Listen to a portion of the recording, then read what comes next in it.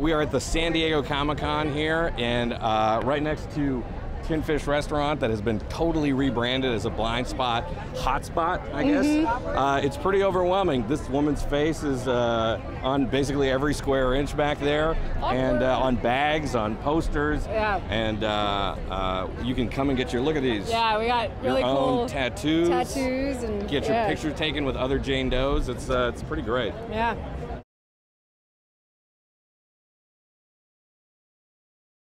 If you stop by, you can get these cool tattoos Yeah. uh, that I could not resist, even though I'm in tattoos every day. Um, and you can also come over here and get your head put on my body, like my showrunner did. Yeah. Or you can get it put on uh, like a dude's body if you're going to be This that wasn't way. the dude's one? This was haha. really? Uh, but yeah, so you can get um, you can get a picture of yourself tatted up like Jane. It's pretty cool. Yeah, it's pretty amazing. Um,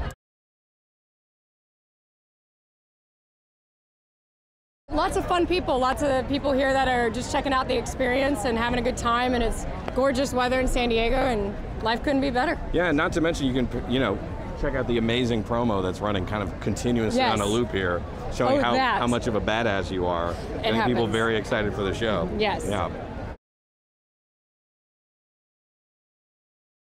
When we were shooting the pilot, it was the first thing we started talking about. It was like, Yeah. oh my God, the Comic Con crowd is going to go crazy for this. Yeah. So to be able to be here now, finally, after you know months and months of like, oh God, I can't wait for them to see it. It's like to see the response is, is pretty overwhelming. Yeah, it's been it's been such a, a an incredible thing to experience, and and I mean I'm going to be pretty disappointed if somebody doesn't dress like Jane for Halloween. Just saying. I will.